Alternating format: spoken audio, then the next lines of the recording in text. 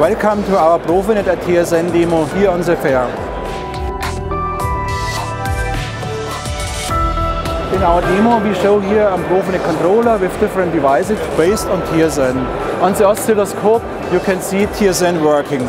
All working logs of the different devices are synchronized. Having network traffic can't disturb the I.O. traffic. You can see here the webcam transferring the data through the TSN network window you can see here on the screen.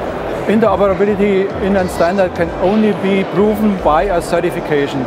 Here we show the first TSN certification demo.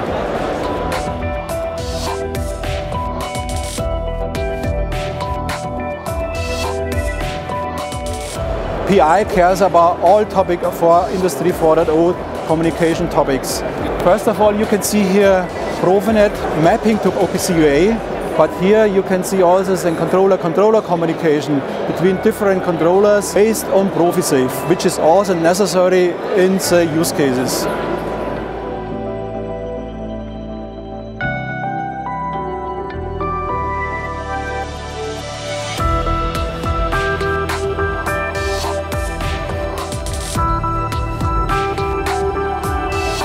PI takes care for all Industry 4.0 communication, I.O. communication, and also the vertical and horizontal communication.